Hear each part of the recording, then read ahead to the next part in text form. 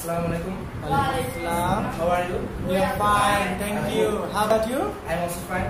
So today I have come in this video for describing about my daily life and about uh, why English is so important for me. So actually before going to start my lecture, I would like to express my gratitude to Allah who has created the beautiful one. Side by side, I would like to remember the greatest prophet of Islam, Hazrat Muhammad and I thank the honorable teacher, Mr. Mustafa Hassan, who has given me opportunity to say something about tax code. So thank you much, sir. Alright. So guys, I'm going to it about my day life. Uh, at first, I wake up at morning and pray my first salat. Then after praying my first salat, then I go out for doing some exercise. Actually, it makes me very fresh. At that time, the weather was very clear, and that time the weather was very well. Uh, it's making very well moody. Um, then after doing some exercise, I return my home uh, to take my supper, uh, to take my breakfast. Uh, about 8:30 or after some few minutes, I take my uh, breakfast. After doing breakfast, I come uh, I come to ELZ for learning English. Actually, uh, ELZ is institution of uh, like institution where uh, the teacher teaches us the English very carefully and very well. So thank you ELZ for giving me a very good skill in English. So thank you very much ELZ. So about uh, 12 a.m. I come back my house from ELZ. Then I take my shower for going to uh, masjid. uh, then there I pay my Salat. After paying my Salat, I come in my house for taking my lunch. Uh, I take my lunch with my whole family because at that time everybody there. We make we make fun with all of them. It's making very fresh and very well. Uh, after taking my lunch, after taking my dinner lunch, I take some rest in my bed. Uh, after taking some rest, I then I pray my salat. After praying my salat, then I go to the gym for doing some free exercise. About 6:30 a.m., I come back my house and take my shower. Uh, then I take some snacks. After taking the snacks, then I go to the house for reciting the Holy. Uh, he said that uh, after Ramadan, I will take the I will finish my course. So I will, I will finish my course. About 9:30, I come back my house. After that, I go sit with my friends. Actually, they are very close with me. Uh, Sometimes I see appear in TV. Uh, not uh, not daily when KKR uh, is playing. That time I see TV because KKR is my favorite team. That's why I see TV.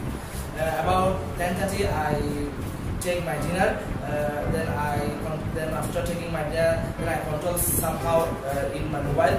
Then about 12:30 am, I go to bed for sleep. That's all about my dinner. So guys, I'm going to it about my second lecture. My second lecture is why English is so important for me. So I uh, for, for me now I am a human being. Uh, for a human being, the food is so necessary. Okay, uh, for having a very good uh, food, need a lot, uh, very good money. For need money, need some respect. Okay, so I'm sure that in the whole over the world, English is giving respect to the people. So I will share this. I will share a story. That's how you can understand what is the importance of English. So I, so guys, I'm going to about the story. Actually, it is a real true story. All right. So when I was in class seven, uh, one of my friends' father live in London and Liverpool. Uh, one day he went to bank and he was conversation, was con- uh, communicating with the banker, but it is a matter of sorrow that he don't know how to speak English very well.